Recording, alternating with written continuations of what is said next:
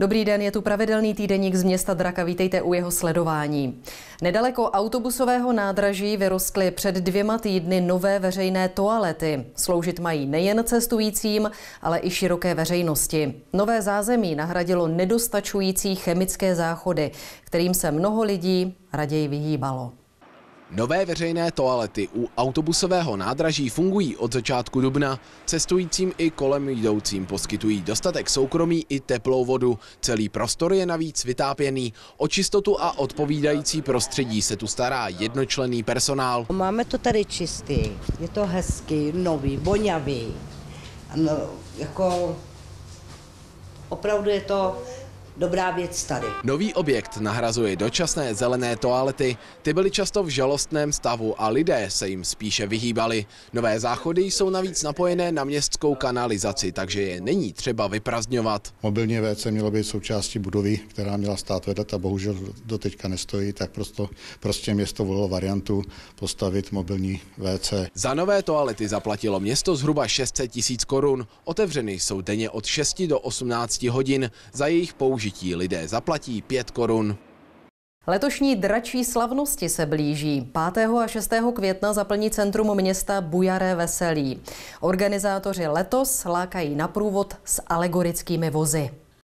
Dětský průvod s alegorickými vozy, takový bude začátek letošních slavností draka. Trakaře a vozíky budou vyzdobené ve stylu řemeslných cechů. Ostatně i celé slavnosti se letos ponesou v řemeslném duchu. Chystáme i e, nové atrakce, e, které tady ještě nebyly, třeba e, samošlapací vláček, chystáme prostorový obraz, kde si budou moct lidi udělat poměrně unikátní snímek na památku a samozřejmě spousty pouličních vystoupení. Program slavností se bude odehrávat hned na třech pódiích. Jedno z nich bude vyhrazené pro dětský program. Na náměstí pak vystoupí divadlo v pytli Petra Stolaře. To bude asi šestihodinové pásmo různých sketchů a, a prostě různých vystoupení a slibuje fakíra. Dospělé potěší v Trutnově již zavedené hudební kapely. Organizátoři ale do kulturního programu zařadili i několik novinek. Budeme tady mít eh, špičkovou kapelu Ginevru, eh, budou tady již tradičně peregríni, ale třeba i bubeníci v kruhu a další soubory. Marta Rasputin Band. Dojde i na dětská vystoupení, vyhlášení literární soutěže a samozřejmě také vrácení draka na radniční věž.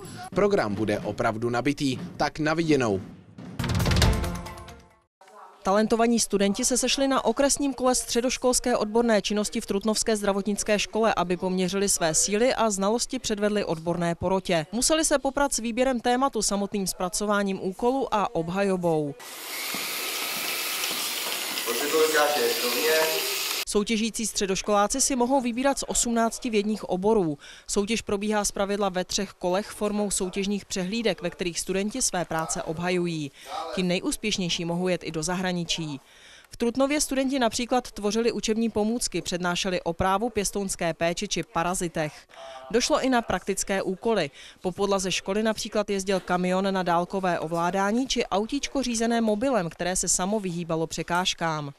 Jeho tvůrce postupuje do krajského kola, stejně jako většina jeho kolegů. Nervózní jsem byl spíš před samotnou obhajobu a když obhajoba začala, tak nervozita spadla a bylo to v pohodě. Další ze studentů například vyrobil multifunkční přístroj, který měří elektrické napětí, čas a další záležitosti.